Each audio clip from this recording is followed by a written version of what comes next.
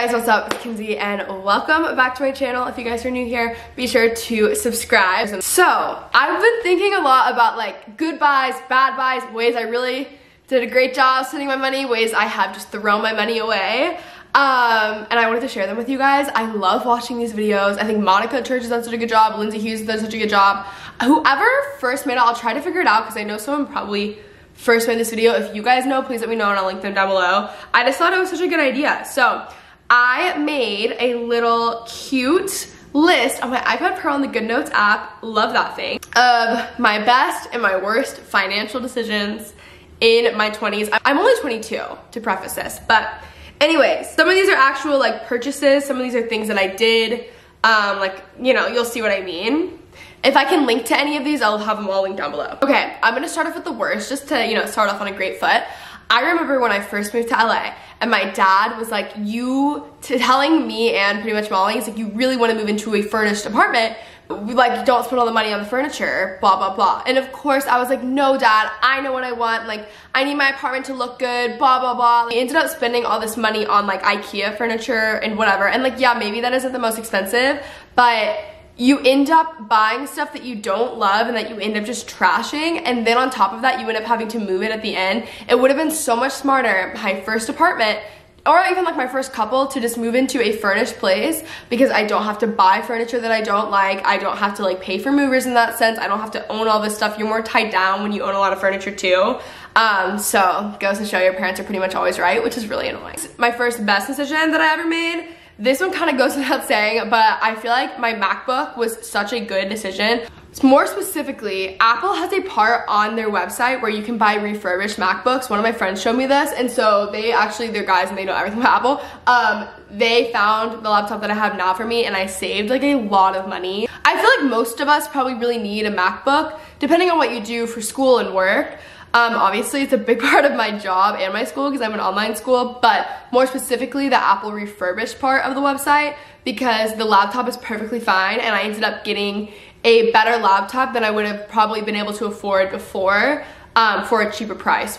So that is a really good hack that I learned. Also, I think just anything that kind of invest more back into my career because like I invest in a MacBook and then I'm able to like make a lot more money on the MacBook than the MacBook was worth. Just kind of investing more in your career to like better your craft, better your service or your product or your video or whatever that might be. I think those have always been good buys with the camera I'm filming on right now. Um, I'll link all my equipment down below if any of you guys are interested in that, but I think that that was, that's always a good buy because if it's really worth it and it's really gonna up my like quality or up whatever it might be, um, that's always worth it. Number two, you guys are all gonna laugh at me for this one. So, when I first got Coco, I hired this dog trainer and I don't think it was necessarily the dog trainer's fault, but I think I was definitely taken advantage of because I was young. So I paid, I don't even, I literally paid like well over a thousand dollars for the stupid dog trainer that would come to our house. I like, I hate saying that. Um, but I don't think necessarily the issue, I mean, yes, that's extremely expensive for dog training. And I thought this was gonna be like a really great thing, whatever. Had it been a good trainer and had it actually like, you know, really worked. And part of that was like me not following up on everything, whatever, I think it would have been worth it. But like everything that she learned, I could have just taught her. And the trainer ended up like I paid half up front. Basically the trainer was just like a little bit sketchy, but she had really good reviews and like people I knew had used her. Um, but yeah, that was definitely, uh, that was a stupid buy because I could have just done so much better. And yeah, I mean, Coco is like a great dog. She's definitely not the most trained dog in the world, but yeah, that was a bad decision. Number two, my Keurig. Okay, this has probably saved me so much money. I mean, do I get Starbucks out all the time? Absolutely. That is not a good idea. I'm aware, but I think my Keurig, I'm just thinking from the standpoint of like saving money and my most used thing. I make like two cups of coffee or like, I use my Keurig at least twice a day, whether it be for coffee or teas or whatever. Um, I also love my Nespresso, but I'm just like not like equipped enough. I don't know enough still about my espresso. It like intimidates me even though it shouldn't. So I would say my Keurig just because I've gotten so much use out of it. I use it every single day and it's just the best thing ever. I actually just got the Keurig Mini. I don't know if you guys can see it back there, but I love that one. It's really cute. It's really small. If you guys are in a dorm room or like a smaller apartment, you have a bunch of roommates, I would recommend that one. Number three. Okay. I'm going to say Postmates. I'm not going to say food delivery as a whole because I actually don't agree with that. But Postmates Oh my gosh, the amount of fees Postmates puts on food delivery is absurd. You look at that app on any given day, and like the other day I was trying to order something and that was gonna be like $25, and then it was like 52 with fees. Like unreal. They put they're it's just like way more expensive than any other food delivery app I've ever used. Obviously Postmates is like the first one, so I would always use that. And I just wasted so much money. Like, okay, my next best buy would be investment pieces. I know some of you guys will probably disagree with me, but I am really one for buying one thing that is more expensive and nicer. Not always more expensive, but just like a better quality item than I am buying 15 things to find it. Like, let's say you want this certain denim jacket. Let's say this jacket is like $300, right? And then you're like, okay, I don't want to spend um, that much money on a denim jacket, understandably. So you go and you buy the cheaper version. So for me personally, when I do that, I will go find like a dupe, something that's similar, or whatever. It still isn't exactly what I want. And this is not for every single item. These are just for like the investment pieces that are worth it to me. And then I will go buy one. That one's not perfect. So I spend like a, like, let's say I spend $90 on that one. Then I go buy another one. That one's still not perfect. Then I go buy another one. That one's still not perfect. Over time, I end up spending more money and wasting more product than if I were to just invest in that piece. So I think, for example, like my gold hoops that I wear from Jennifer Fisher, these hoops are like $300. Obviously, really expensive. I'm someone who, I love clothes, I love products, I love lifestyle stuff. Like, for example, the Aritzia crew neck, I have so many of them now, but those are the perfect fit for me. So comfortable, great quality, and they're like $80 a crew neck. That's ridiculous, I know, but I wear them all the time. They're the most worn thing I have in my wardrobe, 100%.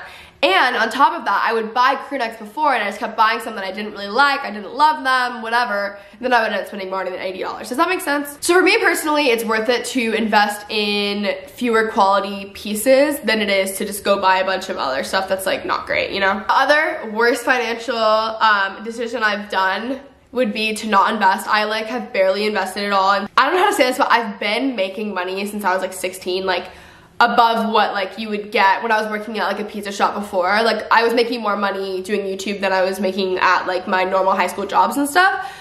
So at this point you would think I would have like, you know, made better financial decisions and like really started to invest in stuff and I really haven't. That's something that I need to do. Um, and I feel like I've really missed out on it. It's like such a stupid thing that I haven't done.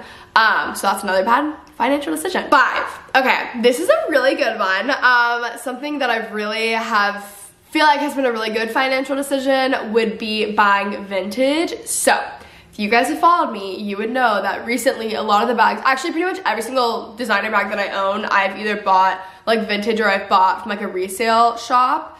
Um, and it's just always the better idea.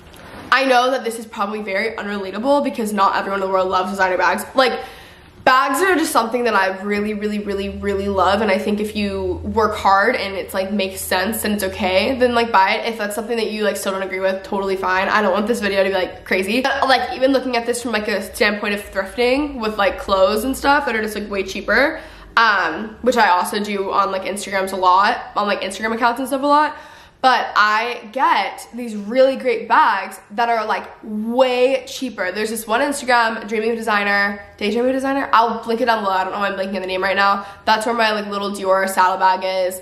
The Real Real is really great. I have like multiple bags from them. Um, I actually got another bag too from Lord Nordstrom. I almost said Nordstrom. Nordstrom Last Call. Um, so it's like a mix of thrifting and buying secondhand. Um, it's just like a better move. It's better for the environment and it's less expensive. So if you're just someone who like has a little more expensive taste just in the realm of like bags or whatever, um, buying secondhand, I think just buying secondhand for clothes as well is obviously a really good idea. I love, I have a few Instagram accounts that I follow that basically like thrift for you. So it's like a Depop but on an Instagram and I bought so many things from them that I love, like cool like crew necks, like vintage, older, like Super Bowl crew necks and stuff like that. High rent in LA. Now that I'm out of LA, I will tell you guys what I was spending in my one bedroom. Not the place that I was just, the, not the place that I still have in LA. That one actually, my rent is way cheaper there. So that's fine. My rent, when I had my one bedroom apartment in downtown Los Angeles was two, was $2,750 a month. That is like more than what I'm paying in this townhouse. Obviously I'm in Texas, but like Dallas mortgages are actually not Dallas like property like obviously Texas property is cheaper but it's not as cheap as it once was so I'm paying I paid more for my one bedroom apartment than I'm now paying to own a two bedroom, two and a half bath, two car garage with a rooftop townhouse in Dallas. Um, which obviously part of that is the price that you're gonna pay for living in LA. That's just like how it is. And then second, I lived in like a really, really bougie apartment. I could have done it so much cheaper. Like I had crazy security. It was so nice. It was beautiful. And it was so much fun. Like it was really, really great. Also keep in mind I work from home, so like part of that is an office. But like still, so so expensive. Like that is throwing money down the drain. Next one, my Amazon Prime account is like one of another best purchase I've ever made. I Prime things every single day, guys. I really, honestly, God, think I do. I have Amazon Prime boxes show up to my house every day. I don't even run errands. I literally just order everything on Amazon Prime because most of the time it's cheaper on Amazon and I'm not paying for delivery. So that is just something I've had for forever. I mean, I used my parents in high school and like, you know, I got kicked off that account and now I have my own. It is definitely one of the best financial decisions I've ever made because obviously no delivery. And then the second thing would be saving time. Like if I'm working all day or something, let's say like I don't really want to run to the store and I don't need it that urgent, I'll just order on Amazon and I also save money because it's typically cheaper on Amazon. My next worst would be not budgeting. I still to this day don't budget. Like that is in it's like embarrassing. Like I literally have to figure something out. It's really ridiculous. So that's another bad decision. Okay so the next best decision you guys will not be surprised but it is my air fryer. Oh my gosh guys. The air fryer was the best decision ever because I cook I think you can maybe see back there. No, probably not. Um I cook so much more now that I have an air fryer. I love cooking. Like it's actually like one of my favorite things to do. But I make salmon all the time. I'm healthier because of my air fryer and I cook more because of my air fryer and it's just overall better. My air fryer was hands down best purchase of last year going into like my entire 20s. Okay, so another bad decision was I feel like I would just spent so much money on food. I know everyone and their mother has, but just spending so much money on food, always. I don't even wanna like look and find out I mean, I actually know because I've tracked it, um, disturbing. So I think just spending so much money on food out, because cooking is like one, a really fun hobby, and two, healthier, better overall. I love cooking.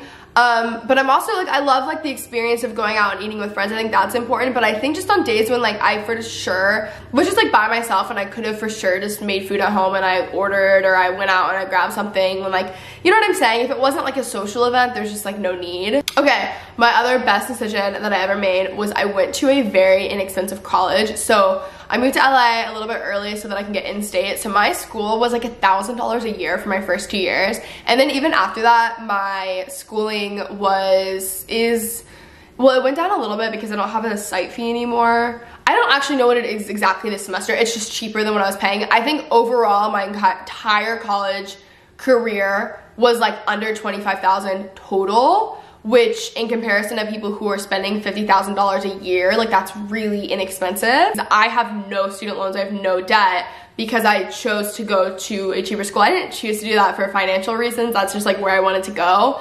But I feel like I really lucked out in that sense because now that I'm older, I feel like if I wanted to go to like a big, whatever, four-year, like huge university that's like super expensive, I would have just done it because I was really stubborn. and I wouldn't have listened to my parents being like, oh, there's so many student loans, whatever. Now that I'm older and I'm seeing all my friends be affected by student loans, I'm like, oh my God, I'm so grateful that my school is so much cheaper because I literally cannot even imagine getting out of school. Like you're, it's just like, it sounds, like I can't imagine because it sounds so awful, but I was able to like pay all that because it was not as expensive. Obviously, that amount of money is a lot of money, but in comparison to how much a lot of other schools cost, like I feel like that was a good decision. Okay, I think overall another bad decision I've made is just not comparing prices as much. I grew up in Texas, gas prices were not that expensive, so, and they still aren't, they're like literally right now it's under $2, God bless. But um, I didn't really like check gas prices all the time because they were just all pretty cheap. And then I moved to LA and I kind of carried on the same habit. And I feel like that's kind of like translated into other things where I'm just lazy. And then at one time I literally spent 5.50 a gallon on gas. And then I realized, okay, I'm gonna start checking gas prices. But literally awful. Um, but I feel like just in general, I could research a little bit more before I buy something and get a cheaper price elsewhere. When it comes down to it, I feel like I've just been lazy and I'm like, oh, I just have to pay it, so I'm gonna pay it um, when that isn't the case, you know? Another good decision I've made was diversifying my income. So I have like multiple income streams and I can make an entire video on that, but like from YouTube to podcast to like commission to merch to whatever, whatever else it may be, like sponsorships, AdSense, even on YouTube, there's like four or five different branches. Um, but I've been able to diversify my income, which not only do you make like can you like triple your income in a year? But there's just steady, sudden, there's steady streams coming at all different times rather than just like relying on one like source of income. So that was a good decision. Another bad decision I've made is subscription services. And I mean the subscription services that you're signed up for that you just keep forgetting to close and like cancel your account. So you just keep paying every single month. Like I have now learned to set them up to my PayPal because I'll notice quicker on my PayPal and I get notifications to my phone um, but like there's so many things and I'm like, I didn't even know I was paying that because it was so cheap, but those things add up, you know? So I think just subscription services that I didn't really even think about, always bad. There's apps too that will tell you, I don't know what apps, if you guys do comment down below, there's apps that will like tell you the subscription services that you're paying for and stuff, but yeah, just not good. Okay, my last actual good financial decision this maybe um, might be one that you guys don't agree with, but my DoorDash pass, I pay $10 a month for free unlimited deliveries and that has saved me so much time, especially in moving. Like, not that I want to be ordering food out all the time, but like life happens. So when I moved, I didn't want to like buy groceries because I was to leave or whatever. Um, and one, I have a DoorDash code. So you guys want like free delivery and free food, use my DoorDash code down below. But it saved me a lot of money as far as any of the fees go, as far as any of the uh, actual, basically my meal was like the meal and tip. It wasn't even anything else. And that to me was like really, really worth it just in the sense of like entertaining and all of that. It's $10 a month. That pretty much covers two orders the entire month. So that was a good buy for me just because I know that I said like, oh, I shouldn't order food if I'm home, but sometimes when I'm working, like I would rather just spend the $10 to have food delivered to me because it saves me time and get a lot more work done because I'm making a lot more than $10 when I'm getting work done. So sometimes I do think that that is really helpful in your buying time, which is like pretty much invaluable as far as how much like work you can get done.